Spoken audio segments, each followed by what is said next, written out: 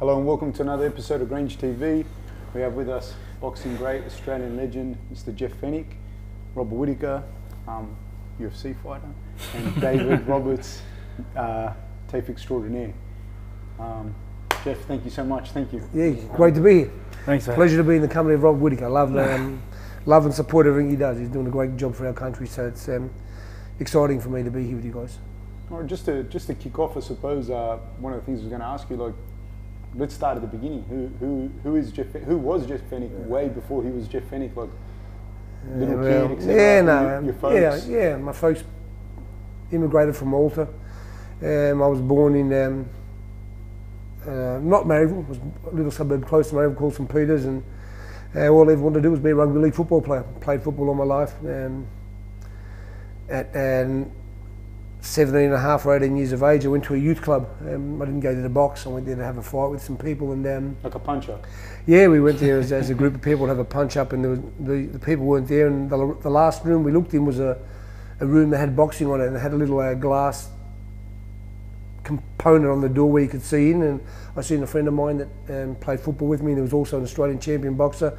I sat down and watched him, and I heard this man say about somebody boxing him. I said, I'd box him. You know, I used to think I was a tough little kid. I was in, you know, uh, you know, fights all the time. So um, the trainer said, "Have you ever boxed before?" I said, "No," and we ended up having a spar. And um, to be honest, I got beat up. I got winded a few times and stuff. But um, at the end of the at the end of the session, the trainer said, "You sure you've never boxed before?" And at the start, when he was saying, I thought, "This guy's just trying to lead me The on." He you sparred with was the Australian boxing he champion. was Australian champion. His name was Mark Cribb. that was your first ever proper spar. yeah, yeah. yeah. Trial by fire. Yeah, just fresh. And uh, anyway, but um, so in my mind, in in front of a few of my friends, I, got, I kind of got beaten up, and I thought, wow, should I? I don't, I don't want to get beaten up, so I wasn't really going to go back. But the trainer said, "Oh, you've got potential, come back." I went back the next day, and um, changed my life. I started to box as well as play rugby league at the time. I played all representative football when I was, uh, like I said, when I was 18, I was 48 kilos. Um, I won, you know, in a, in a few fights. I became state champion and Australian champion. Um, you know, I went to the to the World Cup in Rome after only my 12th amateur fight, and I, I won a bronze medal. What Um, year was that?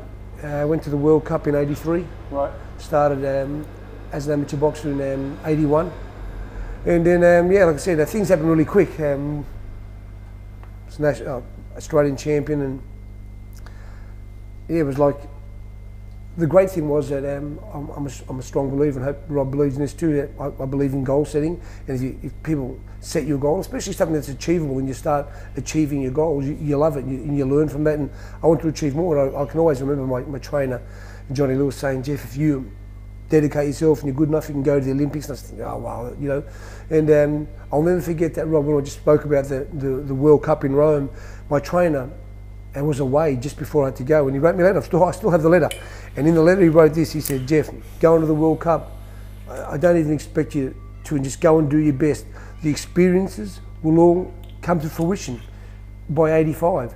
Well, in 84 I went to the Olympics, and 85 I was world champion. It was just like that. He knew what was going to happen. It was, it was really weird. He wrote me a letter because, um, yeah, prior to me going to the World Cup, he was away, and he wrote me this, yeah, this kind of letter that I've, I've always kept, and I always think, well, how did he know that? But he always set me these goals, and he set me achievable goals and goals that he believed that I could achieve. And like I said, when I when I went to people don't realise that when I went to the World Cup in '83, I had 12 amateur fights. Never heard of. When I went to the Olympics, I had 24 amateur fights. Never heard of. I mean, and I fought guys who had hundreds of fights. And although I never won a medal, I I'd won a medal, and they overturned my decision there at the Olympics. So, had I, when the judges said that I won, that means I was in I was in the final straight Can, away. can you talk about that? Because you, you did. You you, Yeah. you won the fight. Yeah, You yeah. walked off, and then they overturned Well, no, the first time in Olympic boxing history, they, Yeah. they didn't just have judges, crazy. Rob, they had a jury, and the jury was just a boys' club. You know how they take somebody extra. They, you know, it was just a, yeah, and they, they had these guys who didn't even sit ringside. They sat further back than the judges, and they had the scoring differently. They had it corruptly, you know, because you know, and there's lots of corruption in amateur sport. But then all of a sudden, I've gone from winning a fight to losing it and, and coming straight home. And I'll never forget when I got off the off the plane, or even during the interviews in, in LA, I said, um, I wanted to, of course, I wanted to stay amateur. I wanted to be the first guy to win a, uh, a gold medal at the Olympics. Um, but I said, if they wouldn't let me do that, I'd, I'd become world champion. And in the shortest time in, back then in history, in 196 days, I became world champion. And people don't realise today that only I don't know, could have been six or eight months ago that Lomachenko finally broke my record. I was the I was the quickest person in history to win three world titles undefeated. I'm the only one back then. I was the first person to do it undefeated, and the whole country should be you know, supporting you on your back. When I am, um, when I fought for the super featherweight title, the junior lightweight title, I fought Azumah Nelson and I won, and they robbed me. The the featherweight champion of the world, the junior featherweight champion of the world, and the bantamweight champion of the world were all three people who I defeated. It's never been never been done in boxing. Nobody even realised that I'd done it. But in 1990, when I fought for the world title, the three WBC world champions below me, I'd defeated every one of them. So um, yeah, I've done some things that again Australia don't give you credit for. And I, like I said, when I sit here with you, I think that um, yeah we yeah you, you, deserve so much more credit and so much more um, than you deserve. I mean, your sport is um, for me it's not the sport that I love, but I, I know how difficult it is when you you got to box, you got to wrestle, you got to do all those kind of things. And like you know, um, like I said, I just think that you deserve so much more credit than you get. And like I said, again, I'm, I'm, I'm happy to be here talking and sharing my story with you guys. Why do you think that is?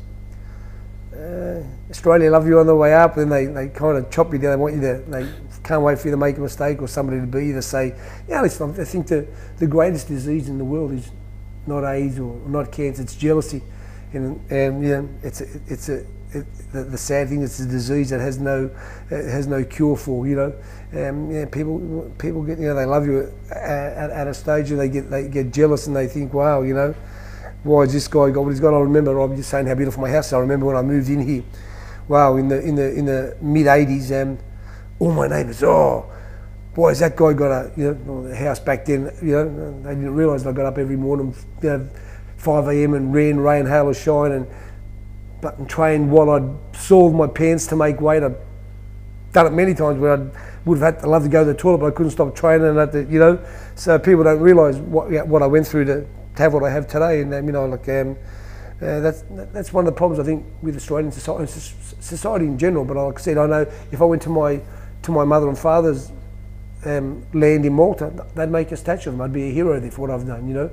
But here, um, like I said, they they um, wait for you to make mistakes and they want to um, eat you down for making mistakes instead of when people make mistakes, yeah, people can learn from them and you can, as long as you can put your hand up and you're, you're honest about things, you can be a great role model by making mistakes and, and teaching people not to make the same mistakes you do, you uh, you made. But Australia aren't, Australians aren't like that. They like to chop you down and you know, um, yeah, not make you feel too good after it. Do you see any parallels in your trajectory uh, similar to Rob's? Uh, I don't know about parallels, but I, just see that uh, this amazing talent that's doing something that no other Aussie's done. He just doesn't get what he deserves. I mean, wow. I mean, um, and listen, it, it's you know, Rob. When I, when I think of back in my heyday, I don't even like who I was because I got everything for nothing. And um, to be honest, when I was three-time world champion, I came back from Vegas after I'd got that draw. I was just huge superstar that got everything for nothing. I, I think back today, I think man, there are people out there that walk past restaurants that can't even afford to eat. Nobody offers them food. Me, I go in, they get everything for nothing. So I know the world is a bit mixed up, and um, uh, we don't live in a in a perfect place. But I, would like to think that um, all those people who like to pat Jeff Fenech on the back back then could have, you know, every every night given somebody who needed a, a feed a, a feed. But like I said, um, I, I think the world is kind of mixed up. We, we live on, in a mixed up place, and I mean, um, the only time it's going to get better is when everybody can um, represent uh, the same the same thing. And I mean, like I said, race, religion, and all that kind of stuff that we go through every day here in Australia. And um, we've just got to realise if they want to call it the greatest place in the world, we've all got to be on the same page. We've all got to, you know, live by the same rules and abide by the same rules, and then then the place will be better. And then you know, I think Rob would get the uh, the what he deserves. I mean, so what? He, he's a UFC fighter. I mean, why he's world champion? He's our only one. Why isn't he like a Roger Federer or a Rafael Nadal in their country? Because that's, Australia just don't don't do that. You know. Um, do you have anything? Um, do you feel underappreciated, Rob? Oh, the, the, it, it's hard. I don't. I, try, I really do try not to, to, to, think, think, about, about it. So yeah, hundred percent. Yeah, because you don't want to you, you don't want to get that big. Head, But it's not about getting a big head. So I, I, understand that too. And like I said, for me, it, it didn't bother me. But I just think that I've been and I've done it, and I know what it took to get there. So I just kind of think sometimes that these guys don't get what they deserve. So, yeah, de- definitely in a sense that like, I, do, I, I don't, I half think that half the reason why a lot of people can't appreciate, you know, the, the, the sport and, and how hard it is because they don't understand the sport and how hard it is. You know, I, I think a lack of understanding is what creates that sort of distance between appreciation and just can't appreciate appreciate it. You But know then what I I'll, mean? I'll butt in and tell you that's that's the media's fault. I mean, we've got this opportunity. like I mean, 100% yeah, agree. that's, that's well, let me tell you, I've got these young fighters who train every day and they get no publicity. But and no disrespect to Paul Gallen, who's a great athlete and he can fight as well. But they get headlines in the papers when they're going to fight. They sell all these tables and they, here are the guys who do this every day of their life and, and they don't even get the paper. And I, I say to the media. Uh, why you got to wait for him to become world champion? Support him on the way up there so people know who he is. Support him. Support these guys on the way up. It's the media's fault. They don't.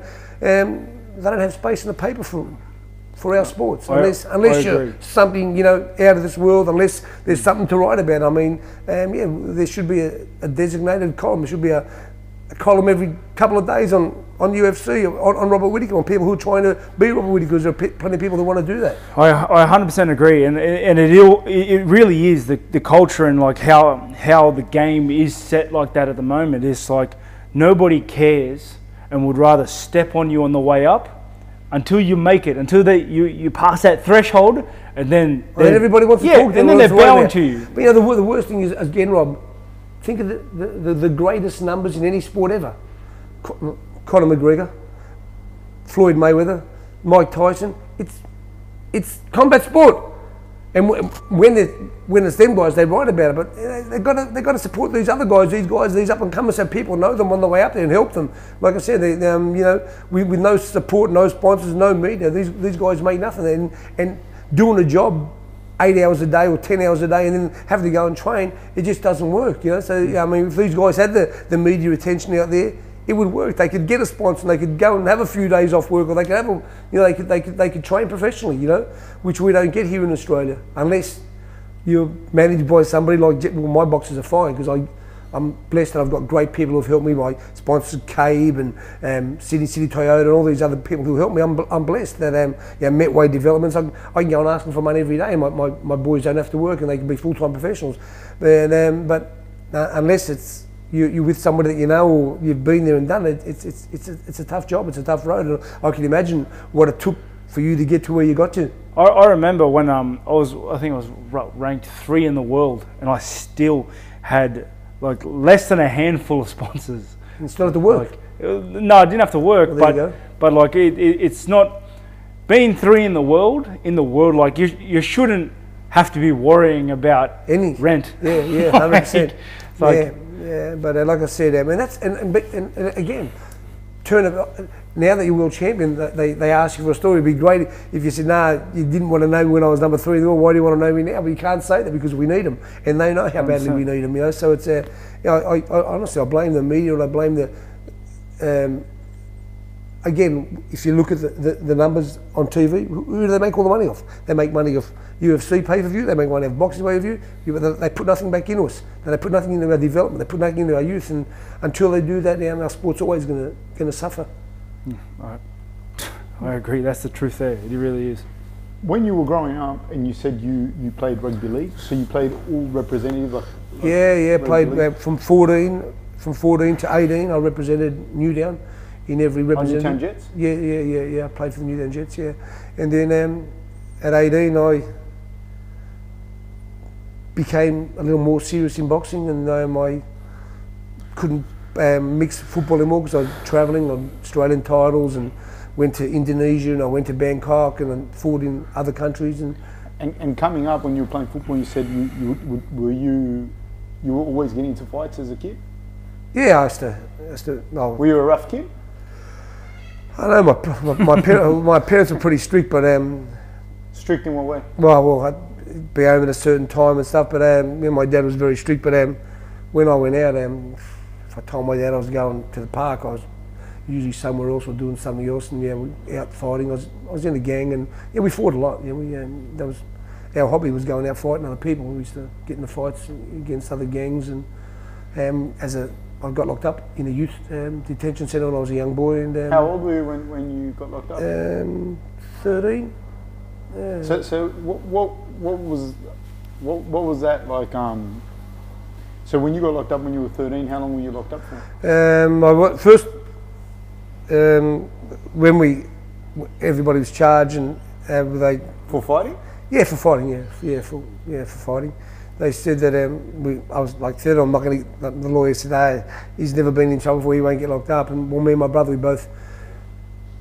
First, we got um, uh, they give us six months, so we had to go and be in a boys' home. And then my, my parents, my mum appealed, and we went to court after a while, and we ended up getting from three and a half months to three years. So, with the, so the appeal wasn't the appeal wasn't when great. you were in the The appeal, appeal went the other way. Yeah, yeah, yeah. They went against us because yeah, we, back, back then it was it was a kind of a, a really tough time, and there were a lot of gang fights happening. And um, on, on one of the weekends that we had a fight, a young boy was killed, and yeah, all that kind of stuff. So they tried to make an example. But anyway, I was I was home in three months because I behaved and I played rugby league in there, and yeah, I was home. So um, uh, yeah, I spent a few months in here in, on Parramatta Road in a place called Yasmar, and then I did my um, time in a in a place called Ormond in Thornleigh. So, So boys home. Twice you got locked up? Well, no, it was that was where I was uh, waiting for my court dates and stuff like, Like that. so they, it's in remand there. They keep it. It was on Parramatta Road for hundred years, just been locked down. And then I went there. Like I said, um, for me, um, the worst thing is, and the worst thing in anything you do in life is that you don't realise how. You all think you're tough and strong, you can do this and you've done that, but you don't realise how, how, how, how much it hurts the people who love you. Where my mum, my dad was sick all his life, my poor mum had to come from um, St Peter's to Thornleigh and then go to Gosford because my brother was in a boys' home in Gosford. So, So they was- separated you? yeah, yeah, yeah, yeah, yeah. So it was long, yeah, it was yeah because we were different ages too. My brother was older than me. So yeah, you don't realise that in life when I talk and do anything today, I, I just tell people one thing: um, we can all think we're big and strong and tough and you can handle this, but you don't realise when you've got children and you've got a wife and you've got mothers and fathers and people who love you, how much it hurts them. So don't worry about thinking how tough we are. Just um, think first about all the people you're going to hurt and then and then then don't do it. Because if there's anything I could change, I'd, I'd love to change the hurt that I've caused. Um, like I said, I'm, I've been through things that you think you learn lessons from, but um, the- people you hurt on the way, yeah, it's it's unfixable. In in that interim, when you when you got into a fight, did whatever you did, and then you got locked up, did that did that talk that you're having now, that self talk that you're saying, like the, the hurt, were you cognizant of the fact that you were hurting your mum at that age, or you still Yeah, young? no, no, I didn't. Yeah, I didn't really. Yeah, I just thought that. Yeah, it was my mum. Part and parcel, they look after you. That's that's how my mum was. So she just loved us unconditionally. And I'll, I'll never forget that. One day, um, when I got out of the, the boys' home, one of my next door, one of my old next door neighbours, this lady said, uh, "Ah, something screaming about me being a, a bad kid." I'll never forget. My mum really pulled her door down and was grabbing her and wrestling again. My mum was going to kill her because she's like embarrassing, you know, having a go at her children. That's just that's how your parents are. But as I got older and now I, I look back at some of the, the things I've done as an adult and been and, and some of the people I've um, you know been guilty by association with. I, I um, yeah I kind of um, have a lot of regrets and I think about the hurt that I put my children through, my wife and and, and, my mum while she was here, you know, and I certainly um, mm, don't like who I was or what I'd done back then. You know, it's, we were having this conversation about um, stuff in regards to regret and regretting stuff and everything, and that, and like because it was a long conversation the other day with, Rob and I were having, and um, one of those things is like, you know, a lot of times you hear people saying like, "Oh, I don't regret anything," but I, I think like. I think what you just said then is like you, you have to think if, about what yeah, you're going to if, do. if you they don't if they don't have regret, they don't have a filter. Everybody's got to have a filter. Like I said, um, like I said, I'm, I made mistakes, and yeah, you, you can't change them. yeah, yeah. But, but then when you think of It's, the ramifications, then when you think of the, the hurt, like I said, you have to walk Yeah. down the street and somebody, you know, says something about you. You have your family near and yeah, what do you do? You know, like I'm, I'm one of those. Listen, I became world champion because of because of my temper and stuff, and I, I don't give a rat's ass if it's, you know, although like I'm saying, if somebody says something to me and uh, they've got to, hope, hopefully they can back it up. I don't care where I am or what it is. I mean, you know, I'll, I'll always, I'm not going to walk away. I'm, I'm, not, I'm, I'm not that person that, no problem, you know, I'll, I'll go and confront them, you know, I'll, you know, and I'll confront them in, in, in, uh, in the manner that they deserve to be confronted. If I mean, I'll, I'll ask them, you know, have you ever made a mistake before? You know, and then uh, if Oh, so you've had people actually say Oh, it to you? yeah, yeah, yeah, yeah, many times. I, you know, and growing, Rob, when I was when I was first world champion, I'd be out of clubs. I'd, I'd be in the I'd be in the toilet because I'd you know, in the toilet, and I'd either yeah, he's that little so and so think is uh, it's different. It's, awesome. diff- it's like different. that. It's different in the street. I'd kill. So I'd say to the door, "What would you do to me?" Like, they take a heart attack. You know, Um, I'd much prefer to fight somebody in the street in the ring. I can. I'm much, I'm much better equipped in the street than I am in the ring. You know, I can use my whole range of tools. You know, but um, yeah, but people, yeah, I, I went through that. I went through it because I was a small guy. You know, I went through it my whole life, my career. But um, like I said, uh, yeah, you'd love to. The, the, if you could change anything, there's one thing I'd like to change is, is, is the attitude of that of that person, and then because nothing would have happened. But like I said, you, you can't change, you know, um, things that happen spontaneous. And you know, people always give you this this line is, man, if you just gave yourself 10 or 15 seconds to think about it, would you do it? No, you wouldn't. But Yeah, but you don't. You don't give yourself 10 or 15 You- seconds. That's it. Do you Yeah. think you would have been a, as good a fighter as you were if you did change that though? Uh, no. Your mentality, no, your no, attitude? No. Well, today I today I tell everybody, and I I tell everybody, because because during my fights, I was I thought I was a thi- I tell everybody, um, this, it's not the strongest guy who wins fights, or the smartest guy. It's somebody who can set a trap and, and know what's happening and can see what's happening, and, and that takes one. Two guys, these guys. They just go there and think they're going to punch each other's head in. I mean, they don't last long. You- you- you- Fight IQ is real. Oh, you got to, you got to, you got to be, you've got to be able to think. And I tell all my guys I, I train, and it, it's a thinking man's Yeah. sport. It's not a tough man's sport. And you know, I've tried to explain that to to some of my friends that have asked questions about things, and it's like, it's not who's the better puncher. It's like when you're in there, it, it is a game of chess. oh yeah, and it's not, it's not this people. You just this wild guy. No, you got to work out how to get there. You got to work, you got to work out what he's trying to do there. It's, it's, it's, it's so, it's so mental. It's, it's, Yeah. it's so much more mental than people So give it credit for. Yeah, yeah, yeah, yeah. It's, uh, but again, then, then again, Rob, it's, it's, it's a thing where you've, you've got to learn to to relax at the right times when, when there's a time to relax. Like I, I, I can box ten rounds tomorrow because I just know I can hold somebody and stop them and start when not, you know. So yeah, and that that comes with experience, you know. And um, yeah, so for me, like I said, um, um, of course I'd love to, to change the hurt that I put my family through and my children through, but I can't change it. So all I can do is try to be a better person and, and try to make them learn from my mistakes and tell them And not do the same things yeah, and, and, and, just be honest. You've got to be honest. Like I said, um, all these parents that, that they think their kids go out and they're good, mate, they, they do drugs, they smoke, they yeah. So I mean, listen, I'd rather my- I'd rather my my, my kids um, get in trouble having a fight rather than being, doing drugs and, and, and, and smoke. You know, I just look, I'm, I'm really against. I've never had a smoke in my life. I've never had a drug in my life. People come you never had a drug in your life. Yeah, yeah. People, I say, listen, I tell I know heaps of people who do drugs. Just do, do me a little favour. Don't embarrass me. I don't do it. Just do it own. If you can't be on the same page as me, on the same level as me, just by having a, a glass of wine or just being normal, then, then don't mix me. Don't don't come with me when you know people say to me, "You can't tell that guy was doing coke." How am I going to tell he's doing cocaine? I've never done cocaine in my life. Have a look at his pupils. How am I? to- Excuse me. What the fuck his pupils look like when they're doing cocaine? I've never done it. I just tell them the truth, you know. But I I'm dead against that stuff. You know. I just um, you know I know how many people who I've known as children who've ruined their whole lives and their families' lives from doing drugs and robbing people and robbing their families. So, you know, I'm, I'm, I'm not in that stuff. Was um, performance enhancing drugs a big thing for you for you guys? You know what? I've, I mean, I've, never, I've never taken a vitamin in my life. I don't, you know, and that's one of my problems. Other eh? guys that you fighting? yeah, I, I couldn't tell you, you know, because um, um, I, I've, never, I've never thought of it. Was there any? Was there ever a guy you fought that you thought, man, this guy is something Um, just physically maybe like take physically Well, yeah, yeah, stronger one- or well, the one guy- power well, or cardio? Yeah, no, yeah. one- When I fought that Victor Callejas, I mean, I, you know, I'm not sure if I give him smelling salts every time he came back out because he, you know, he come back out, you know, like you know.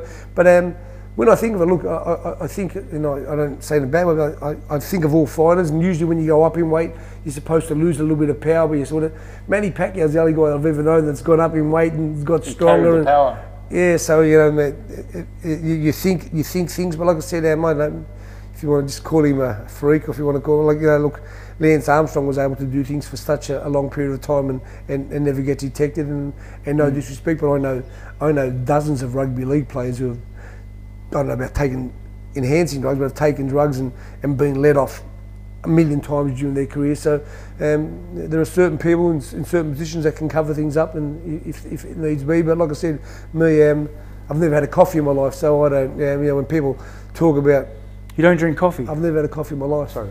How are you getting up at five, uh, running on the road I, without coffee? I get up. I get up at four thirty every day now, and I do my stuff. You know, I without ride, coffee. Yeah, I ride the bike like twenty five k in the morning, twenty five k in the afternoon. I ride. I do. I, I can do twenty k on the bike in under twenty seven minutes. I can barely tell myself to breathe without coffee. Yeah, I've never had in my life. Yeah, so just yeah, I know. And like I said, um, you know, when people used to try to give me things when I was younger, I used to always think because I used to think people used to come to the gym. Oh, I forgot to take this vitamin. I don't feel good today, so I never wanted to depend on it.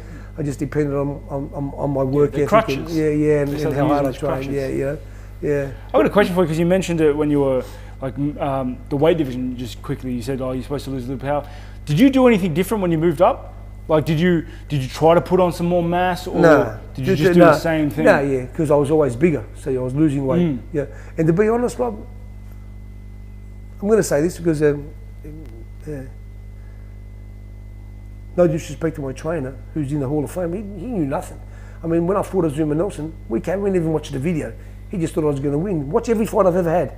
Watch every fight I've ever had. This is, this is going to be a bit of a I don't know if it's a bit of a first and whether people can love it or hate it. Watch every fight I've ever had. See what if you ever gave me one instruction during a round? Never. Just because I was beating everybody. He never said to me, watch Rob's to do Watch when I, my first time I ever got knocked down. The words were, keep your hands up. Didn't tell me what I got hit with. Yeah, and just, yeah, that's, it's the truth. And, and no disrespect to Johnny, but um, yeah, I, um, I trained with, with Emanuel Steward towards the end of my career, and wow, what a, what a difference mm. when somebody tells you why you're doing something, explains what he's doing with you. I mean, like I said, um, yeah, we did pad work with Johnny, and like I said, after I fought with Jimmy Nelson, we never even watched the video. We never went back and watched it. We just thought I was going to beat him again. Um, he went back, he watched everything I'd done, studied everything he could have done to me and everything I'd done to him, and come, comes back and I thought I was going to win easily, and I end up getting knocked out, Rob. You know, although although again back back in that day, Rob, not that I ever make excuses, but I was a I was a wild child from there. When all of a sudden I became rich, I became more famous than I was. Tui sponsored me. I had my own clothing line. I could sleep with just about any girl I wanted to, and I did that. I can quite regularly on a daily basis. You know, whenever I wanted to, every time I went and did an appearance, where I was up at five every morning and, and, and had my, my routine and my resume. Man, I was doing appearances at ten in the night, doing you know, yeah, going to you're not my, sleeping. Yeah, yeah, I'm did everything wrong. I did everything was wrong, Rob, for that for that fight. But like I said, no excuses. For the first Azumah Nelson. No, for my second fight. Yeah, yeah, for my second fight when I was in Melbourne, I was.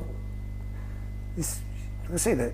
Mate, I'd, I'd, get up in the morning, the people on the road clap me as I'd run and stuff. You know, thinking, wow, you know, mm. this is great. You know, you know, and you don't think it's ever going to stop. You know. How much does that affect? You know, it, it affects you automatically you, you can say it doesn't affect you, but seeps in. Yeah, yeah. Listen, right. No, because that, listen, that, that's the fame and fortune. Fame and fortune changes everybody. Yeah. As much as we, ah, I've never changed. I'm still from Marrickville. Yeah, bullshit. I was from Marrickville. Yeah. We had whatever I wanted to. Drove whatever car I wanted. I'm like, it's not from Marrickville. I thought I try to tell, tell myself, yeah, so yeah, yeah. still from yeah. Marrickville, but I, I drive anyway. Yeah, yeah. The only time I can do that is if somebody stole one and I jump in it. You know, that's the only time I was getting a, a nice car back then. But yeah, so as much as people want to say, oh, we're still the yeah. same, we don't change, you, you change automatically. You see that a lot with like some of the some of the real higher level guys in like in my own sport and a lot of other sports. It's like they, they, they build themselves up to such a degree that they start to believe the bullshit they're spilling. Oh, you uh-huh. know what I mean? It's like, and they, it's to, to the point where they think they're untouchable. They think they're unstoppable. It, and they're really not. They have the same amount of bones as we do. Hundred percent, mate. That's what, that's what I tell everybody. So I tell all, everybody that I that I train and say, listen, we've all got two arms, two legs. Listen, and listen, and there might be somebody better than you, Robin. If that happens, that's my job to make sure I protect my fighter during the fight. I'll stop the fight much prior to you getting hurt. My job is to look after you. And if I made that mistake and this other guy is so much better than you, I'm not going to let you show everybody how tough you are. So then what that does is it just makes it worse yeah. as the next fight, the next fight, because you, you, you deteriorate. You, our bodies deteriorate the same as everything else. As well as this, this guy that, that be, might beat me doesn't make him unbeatable. it just means he yeah, beat me. Yeah, yeah. So, and, and the thing, Rob, it's great that you're saying that because you people don't realise how styles make fights. If you look at the the, fa- the, the Fab Four, they talk about Roberto, Duran, Hagler, Hearn. Have a look at them. Like Hearns knocks out Duran, like near kills him in, in, in, in a round, and and um, and Hagler, and then um, like Hagler kills Hearns, and then um, they all fight each other. It's just all different. It's just styles fights. And I, the, the, again, going back to Emanuel Steward, I'll never forget how Emanuel used to say to me, Jeff, because he, he spoke about one particular fight. They, why would they let you fight that guy at that stage of your career when you you hadn't fought for like nearly two years and you just fought? And because because the, the people who looked after me weren't, weren't professional enough. And I say that to this day without any hesitation. I'd say it in front of their face, and I'd and I'd have I wouldn't even have to get an argument now because I, I know, Robbie. I, I just know what. Um, yeah, and yeah. Look, uh, it, it, everything happens for a reason. Yeah. And then and back then, these guys didn't know enough. We yeah, here in Australia we, we were hidden from a lot of that stuff. As, as well as like promotions themselves try to set up their their money fighters or the fighters they want to go through with with with with names and stuff. Like Rob, they, they, me, they, the- they make it they, they line them up in such a way that they try to promote the growth of certain person Of off the back of Of someone course. else. Yeah, of course. Yeah, yeah. I mean, like there are, there are fighters out there today that like Billy Dib, who just they're, they're asking him to fight again. My advice is him not to, but they want they, they, somebody just wants to have on their resume. They beat this former world Yeah. champion, the two time, you know. But that's up to these guys. But like I said, Robin, I mean, the easiest, I think the easiest sport in the world to bet on is boxing because you know you, you know exactly who they're fighting. How it's so easy to get somebody an opponent that you know they're going to beat, and you know they, people can say it's only one punch, but most of the time the, the person that they're fighting doesn't even have that one punch. So it's yeah, it's I mean, and then when you get to the, the, the You see that all the time in my sport where like these legends have done what's what you need That's what's wrong with your sport and mine. That be allowed. Anthony Mundine shouldn't be allowed ever to step back in a team of people that are experienced enough to say, listen, it's time. Because listen, it's, it's, it's not hard to pass a medical. The, the, the medical, Yeah. yeah. Yeah, medical's easily, you know. I, I can go and train tomorrow and pass, you know. But um, it's, it's, it's, not about, it's not about the medical. It's, it's about see the knowing. return. How hard Yeah. was it to step away, Jeff? Yeah, it's always hard, you know, because you, you look and think, wow, I could beat that guy. Well, you could have beat him, but you, you don't realise that it's it, boxing's a sport that when your chin's gone, it's gone. There's there's no you can't get a, re, a, a new chin put in, or you can't get that resistance put back when you've been hit for a long time. And Rob, I used to spar Jeff Harding every day. I used to spar Justin. I used to spar heavyweights and stuff because these other little guys couldn't spar me, you know. So um, at the end of the day, it was it was very detrimental to me because. Yeah, when I, when when I finally lost my resistance, big shots. Yeah, I was getting, getting all, and they never never hurt me once when I was when I was Yeah. young. All of a sudden, they started hurting me. Think, wow, wow, I'm getting hurt now. And you don't, you know, then you kind of think back and you think, well, listen, you know, water on a stone fucking makes a stone disappear. You know, I mean, getting hit and getting hit a lot by big guys, you slowly lose your Wear resistance. away, yeah, yeah. wears away. Yeah, no doubt. Did you spar too much, you think, in hindsight?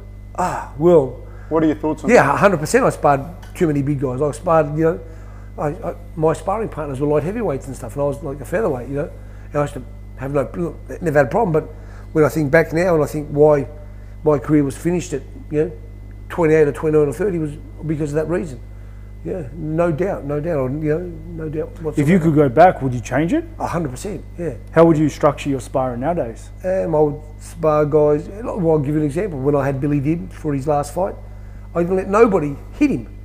I, I'll give you another example. When I trained Mike Tyson, um, during sparring, Mike used to knock guys out and we'd have to stop. So when I was Mike's trainer, the deal was this, it was sparring. I took Bob Mirovic and I said, "We're going to work together. We just want to get fit to get rounds. I'm like, first of all, if you if we knock somebody out, we've got to stop, start. So that's not a great preparation, stop start, and you know. And if you if you're going to get hurt and stuff like, I'll never forget that a day when Mike was sparring and um, he got hurt. He got hurt uh, a little during sparring, and I, I went and spoke to the guy. I said, listen, I'll pay you to do this work with us, you know, and um, over the next few days, Mike got his confidence back, and then, then we were able to, you know, to, to get back to where we, we needed to be. But yeah, there's, there's, like I said, there's a method to the madness. Like I said, with Billy Dib, my method was to get him into the to the fight as fresh as I could, not getting beat up every day, because if he got beat up every day, he got knocked down for a couple of rounds.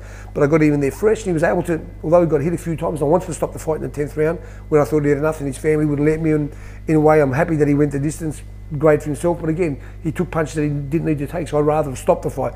But um, yeah, I, I would change a lot of things, Rob. I, you, you, you've got to today to persevere and for, you, know, you, you take guys to other gyms and they immediately try to kill you. I try to explain to my boys, we don't want that. When you when you're sparring your hmm. mates, we're here to work. This is this is our office.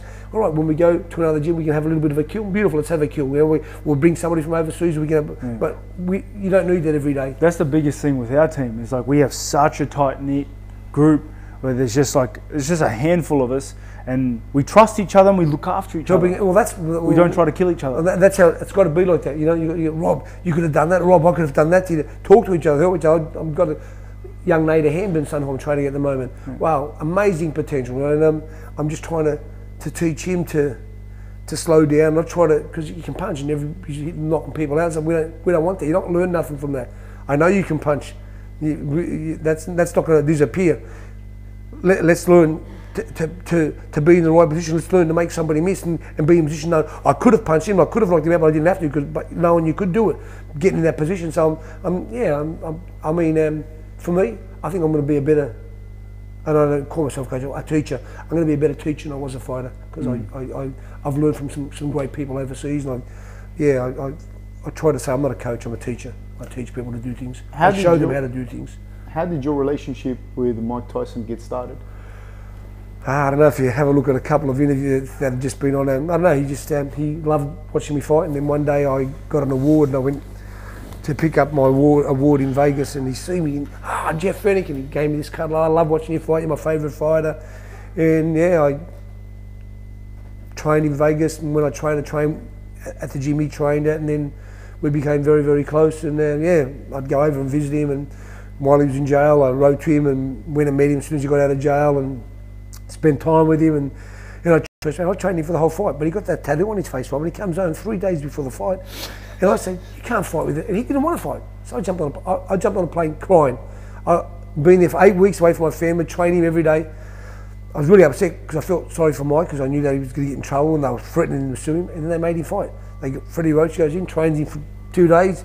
He knocks the guy out. Freddie Roach gets the credit, gets paid. I'm, I'm home, but then I went back and I trained him again. And although he lost him, I was I was wrapped that I, I stopped the fight because when we went back to the corner, if you just watch it on video, his friends, the guys who had been there previously, "Hey, he's right. let him-" I'm fighting. I said, I'm the, it's exactly what I said. I'm the fucking trainer, and I'm stopping the fight. He's not. He's my friend. He's not getting hurt no more. He doesn't need to get punched. He doesn't want to be out there. And I can see in his eyes he didn't want to fight, and that's why I've always been close. He knows that I had his um, his welfare at heart, and that's that's that's part of the job. I mean, um, you know, it's it's, it's That's the most important yeah, part of yeah, it, yeah, right? It's it's a hard thing because you know you're, you're thinking, yeah. But for me, I'd rather stop it a few punches early than a few punches late, and um, you know that you might be cranking at me at the time. Oh, I could have fought on. I could have fought on. I remember Diego Corrales when they stopped him against Floyd Mayweather. He wanted to kill his dad, but his dad looked after him.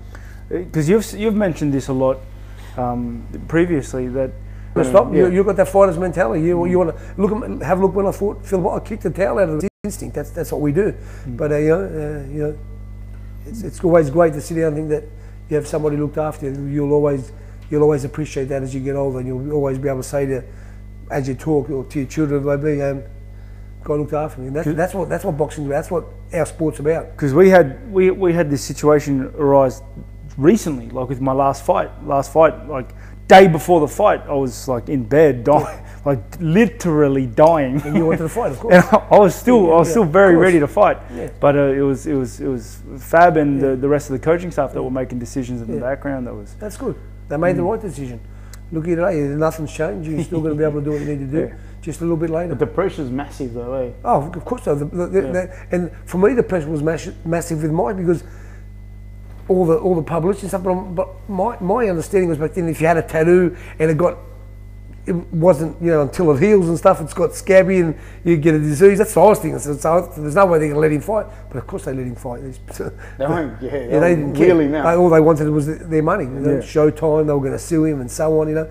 But like I said, my my um, association with Mike was, was, was amazing for me. It was like, I mean, you, you see them, the Beatles, and Rob, I don't know, but when Mike Tyson used to move the curtain, he's doing all these people would be outside screaming. Go, we'd get in the car to go to the gym, like in London and that, and people would run up the street for, for miles. You know, just stay near the car, touching the car, and want to see him.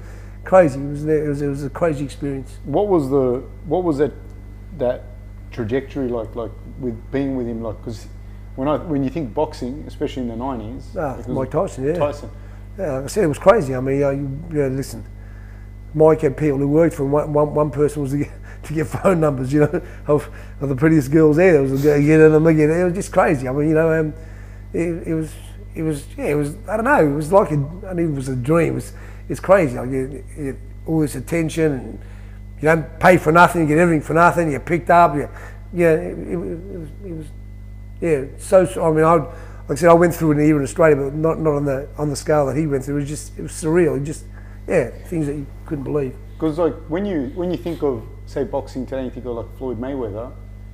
I I don't know, maybe it's me being nostalgic, but Tyson seemed to be so much larger the- than, than what it- Mayweather it- is. It's different. Uh, it's different because yeah, um, Maybe it's because I was a kid. right? and, and not just that, but I, you, you a lot of people some like and dislike um, Floyd. I, mean, I love Floyd. I just I've known Floyd for years, and everything that he does today, he done he's done from the start. He's always been that little kid who, and he's, people don't realise how generous he is as well, and what he's done for his family and stuff. But um, yeah, I mean, a lot of people don't like the, the fact that he flaunts his money around. And I don't, whether I like it or not.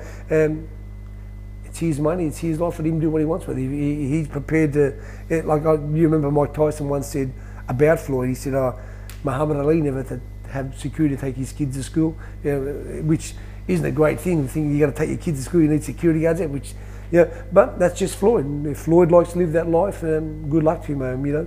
If he's um, loved Mike because they knew he came from nothing and he be, come to there and yeah, so you know where Floyd, yeah, Floyd does things to make you love or hate him, man. But it doesn't matter. And I, I love Floyd for that. I love somebody that is not going to bullshit to somebody so they like you. I like people who are honest. I like if it's black, it's black. If it's white, it's white. Well, one of the things I think with, uh, like say, Jeff Fenech or Rob or whatever, we're sitting here talking, people forget you're you're a person. So no matter whether you won belts or how much money you have, like you know, your wife will still get angry. You still get you're, you're still human. being. never say I've got, yeah, like I said, I mean, I got my uh, the hardest thing. I've, I've got children, and um, you know, I got I got I got two daughters. I got a son, and um, man, I got two daughters out there that are really attractive. One's getting married, thank God, and the other one's out. And I think, wow, man, if there were cameras in the day that on on phones, me and my whole team would still be in jail today. I mean, uh, we uh, yeah, we got away with. Yeah, I mean, yeah, the, the world's changed. I, said, I, don't- I don't know if it's for the better, but wow. I think the world's the same. There's just cameras now. Yeah, well, that, that's changed. It was none before. Rob. So, well, there's cameras. It's- But um, yeah, I couldn't half imagine, yeah, some of the things that we got up to.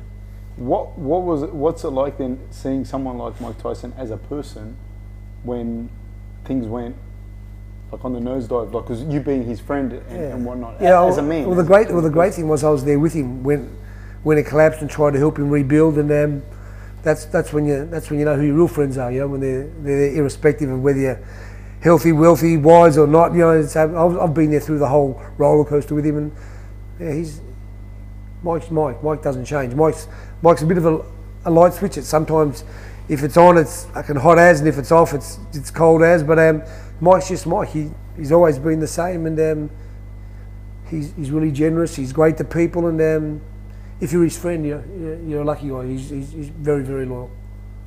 Is he? How's he doing now? Like, Wow, he's he's got that marijuana farm. He's gonna he'll have he'll end up having more money than the world soon because of that.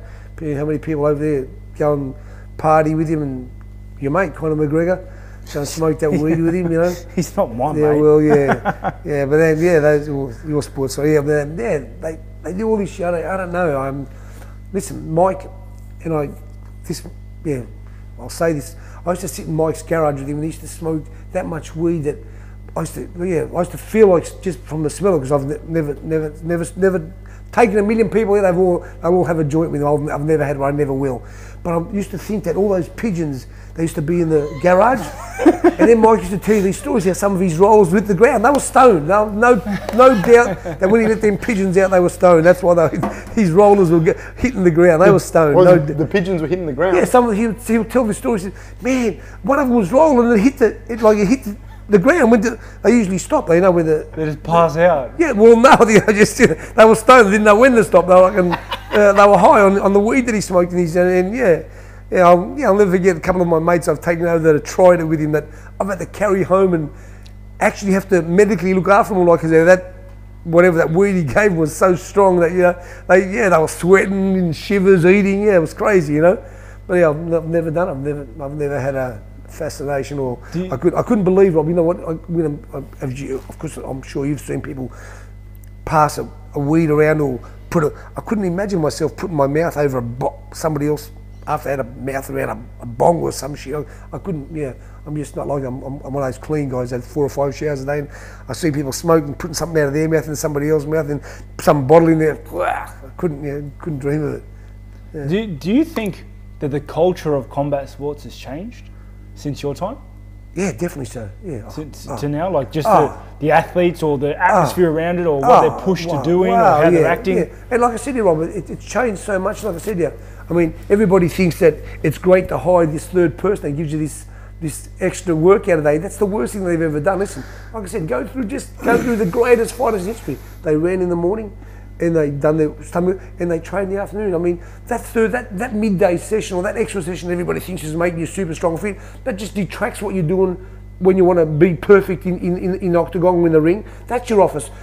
When you walk into that office in the afternoon, that's where you've got to excel. You don't have to excel. I mean, running's important. It's really important because these legs carry you. But it's getting them right. It's not. It's not getting them overdone. It's not. Me sending you to to the octagon sore in the afternoon because you've done weights. Oh, he's, he's stronger. than No, he's not strong. He's got to be able to perform in the octagon. I don't care what how much he can lift or you know. Yeah, these people have got it all wrong.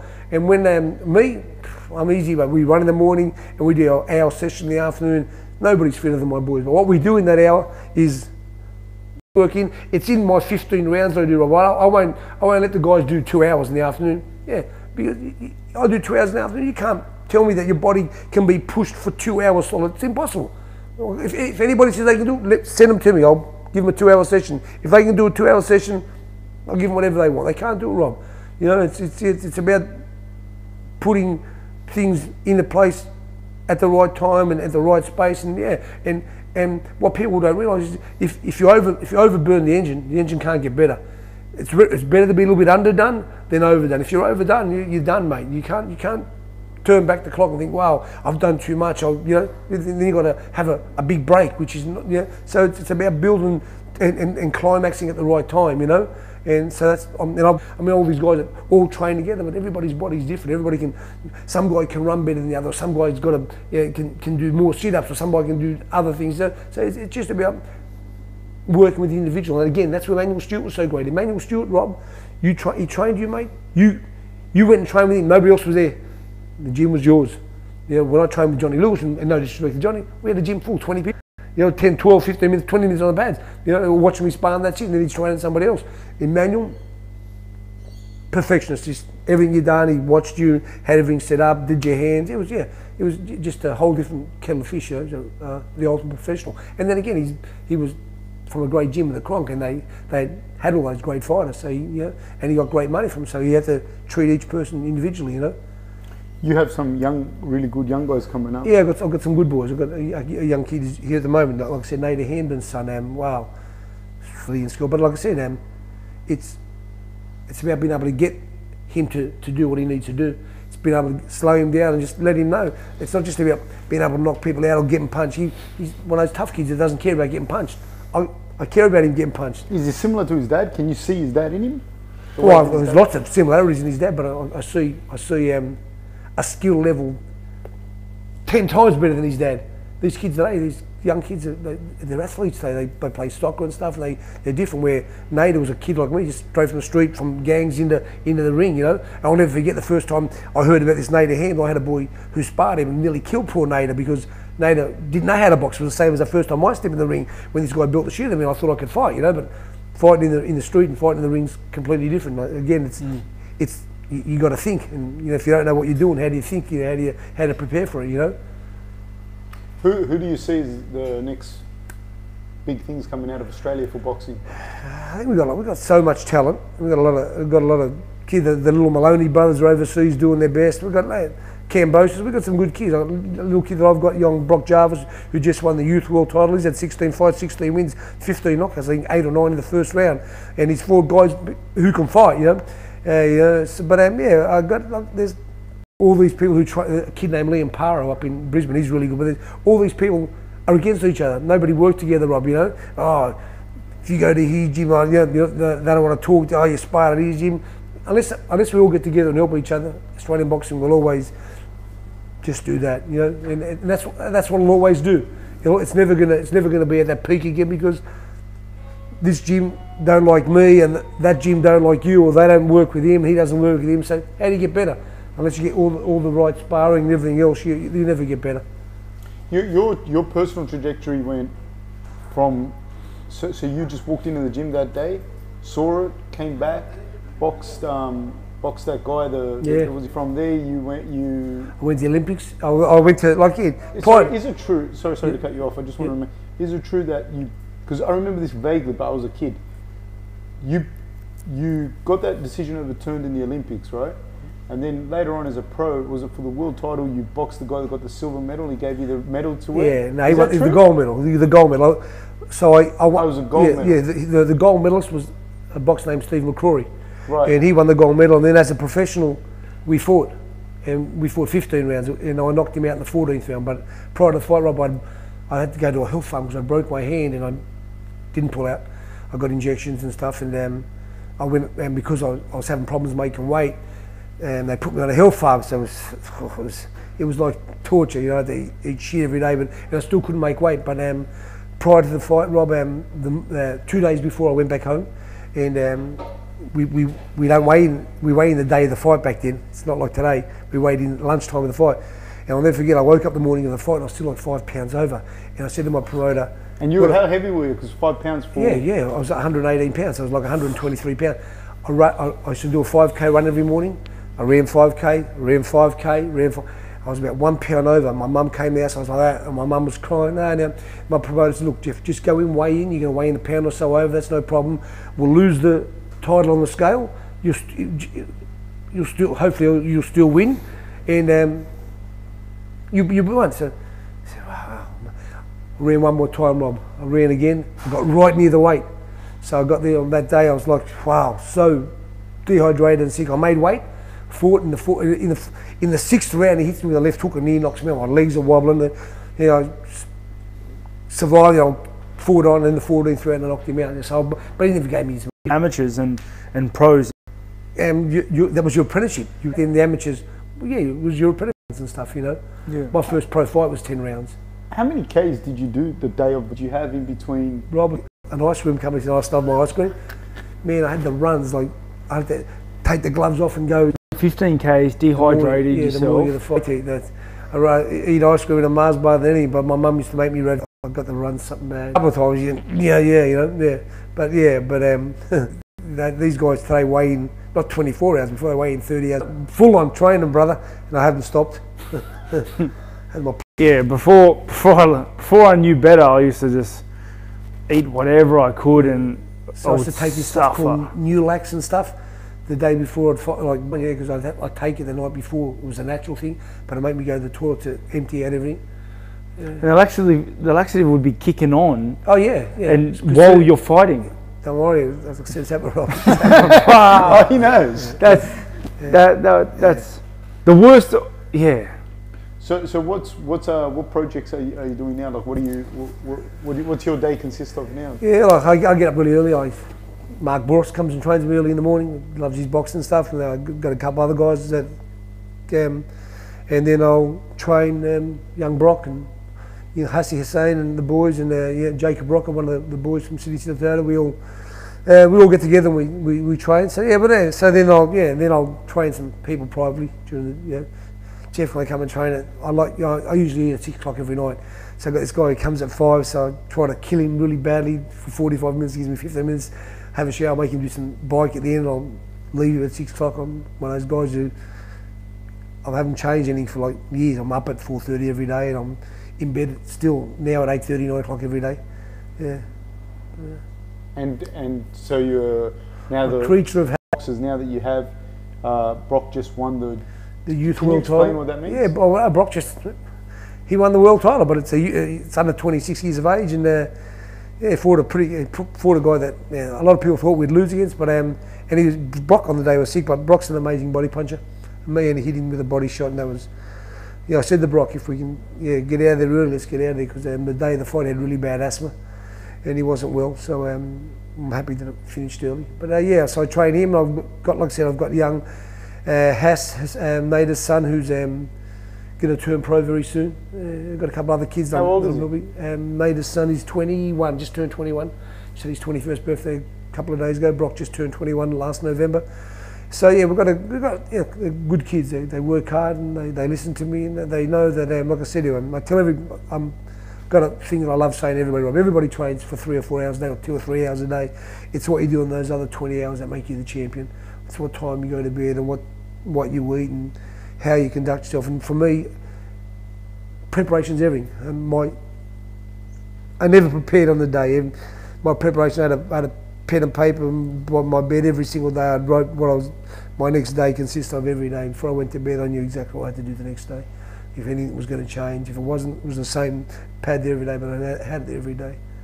Preparation's everything. If you if you prepare properly, you, you, you, there's no excuses, you know. So, and if you prepare properly, you don't need to make excuses because you've done the best you can do. And I tell everybody that if you prepare properly, you've done the best you can do. You always win, irrespective. You might have a W there, we still won because we've done everything. And we just got to go and see what you know what more we can do, or what we you know, or what the other guy done better than us. You know, so yeah. And I, like I said, there's it's like Rob said earlier. Just because I can beat Rob doesn't mean that this guy's not going to beat me. And there's always had to fit us, you know. So it's great to stay level-headed and stay stay grounded and um, yeah, just uh, like I said, um, prepare for what you have to do. Like I said, um, like Rob, when I fought for my first world title, all the Australian boxers, oh, he can't win. He's never done, never done 15 rounds because I fight 15 rounds. You know, in my, in my seventh fight. I trained 15 rounds 100 times prior to. I'm prepared for it. I'm, I'm a stew, but they think that you know, yeah, mm. yeah, made me want to prove them wrong. You know, I, I love you know, shaking hands with somebody that thought yeah. I couldn't do something. You know. Smiling at it. Yeah, yeah, it's great. yeah, yeah it's, you know, you know, when so I said that jealousy thing when you're shaking somebody's hand and they don't really want to shake it, they don't really want to give that credit, but they've got no, they've got no choice, and that's why I'm proud of you, mate. I know, Rob. You know, like I said, yeah, um, I'd love to do a couple of sessions with you because I know that Justin will love it anyway, and you will love it. You know, and, um, and I'd love him to be there. You know, so you know, I'm not one of those guys. You know, just I just know that. Know, I used to think to myself, I used to watch, and what I used to do, Rob, my biggest thing I know, I used, I used to watch my fight a hundred times over. I used to fall asleep watching my same fight every day, my last fight. I wanted to see what I what I done, what I could have done better. You know, that's where you, you, you learn from yourself. You can learn from other people. It's great to have vitals and people think we're great and watch things, but you're not going to learn anything more than from yourself and see what you could have done or why didn't I do that? Oh, he done that and done that to me. So you know, yeah. All right. Thank you very much, Jeff. Pleasure, guys. Time. Thanks no, no problem. Honestly, thank you so much for having us ah, in the home. Mate, I told, told you. I, I, like I said, I just think, yeah, it's an honour to have you in my house. Thank you.